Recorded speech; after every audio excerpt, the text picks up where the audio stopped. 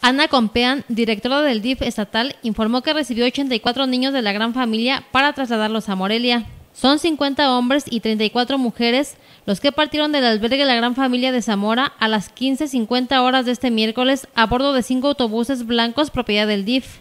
Los menores que fueron entregados por la PGR al gobierno estatal serán albergados a partir de hoy en la casa hogar Vivan los Niños, habilitada en el inmueble que anteriormente ocupaba el Centro Michoacano de Salud Mental en el municipio conurbado de Tarímbaro. Para Cuasar TV, Sandra Sáenz.